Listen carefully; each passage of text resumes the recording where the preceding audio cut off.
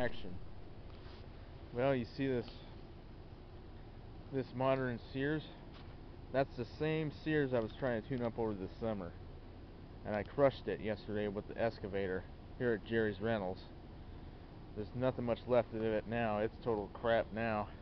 The only thing that's still good left is the handle. I'm surprised it still survived. Just need to straighten that one end up that connects to the deck. Other than that, it's usable again. Well, I tried and tried and tried to tune it up. I did even did everything right. But excuse me. Enough nothing was working. And I said screw it. And I just got fed up with it and then and then decided to crush it with the excavator. So I except the mower was at the right over there at the shop, just right towards my right and somebody's coming with an excavator. It's a Kubota, but I was driving a John Deere excavator. So here it is, the the modern Sears I was trying to get running over the summer. Just killed it yesterday. Just squashed it flat. First I tried to crunch it up get it all twisted with the the bucket and then and then I ran it over with the tracks and the track was spinning on it. So that's why the engine block's all shredded to pieces. Except the head. I'm I can't whoa. Even the spark plug survived. I am so surprised. I bet the head maybe still good the head cover but yep yeah, it's all done for. So there you go. A crushed Sears Craftsman. I really didn't want to crush it, but I had no choice.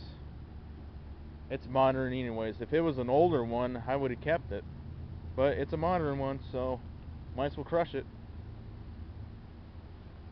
Like the snappers I got, the ones that still run, if I if it started having problems, I wouldn't do this. I would never crush a snapper even if it's modern. But the older Sears, like the ones from the early 90s, the late 80s, if it was if it was in really good shape, I would not do this.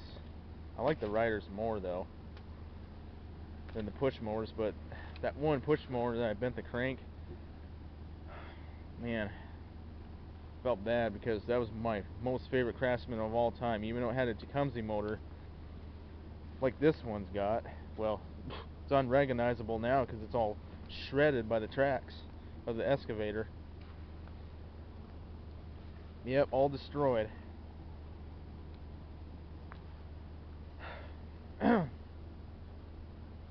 anyways, thought I'd show you the modern Sears is now history. Went to lawnmower heaven yesterday by the clutches of the excavator.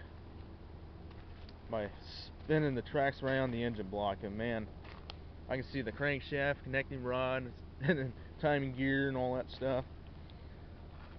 Surprised the spark plug survived because there's pretty much nothing left of this thing except the handle and the spark plug.